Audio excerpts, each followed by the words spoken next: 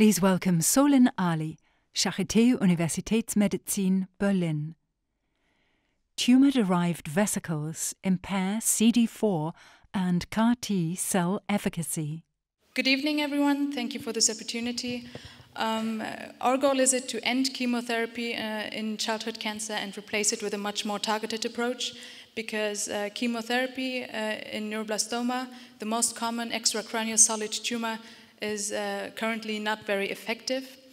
Um, so what we need is a kind of therapy that is uh, higher in efficacy uh, and in uh, toxicity, and especially also in specificity. And as we have already heard today, CAR T cells are a great way to do that. Um, CAR T cells are, just to recap, a uh, kind of um, uh, redirected immune therapy. Uh, they are T cells that express a chimeric antigen receptor with, with which they can um, target a tumor associated antigen and uh, this way target the uh, tumor specifically. Um, currently, CD171 specific CAR T cells are in phase one trial against neuroblastoma. Uh, for neuroblastoma and for other solid tumors alike, a crucial mechanism for tumor uh, development and ultimately perseverance is the production of tumor derived extracellular vesicles. These vesicles are enriched in immunoregulatory proteins and can this way hamper the body's immune system. Um, apart from that, neuroblastoma's malignancy is also in a large part defined by the expression of tyrosine receptor kinases and TRK1 and 2, which are also often referred to as TRK-A and TRK-B.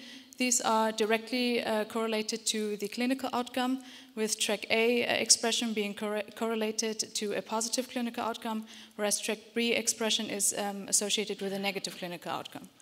Um, so we asked ourselves uh, what, um, uh, what role these tumor-derived extracellular vesicles play if we want to use CAR T cells against neuroblastoma. So what we could find out that is that our CAR T cells withstood the tumor vesicles and showed uh, constant viability and cytokine production, and a continuous expression of exhaustion markers. Um, apart from that, the CD8 positive subgroup of CAR T cells uh, showed a, a, continuous cytotoxicity against the tumor. However, the CD4 subgroup of CAR T cells was significantly impaired when they were faced with the tumor vesicles beforehand, um, as you can see here uh, in comparison to the CD8 subgroup and on this graph. Um, uh, and these changes all happened independent of NTRK expression, which was also uh, a bit surprising. So now, of course, the important question is um, how do these vesicles do that without altering all these other variables to the same degree, and why do they only impair the CD4 subgroup?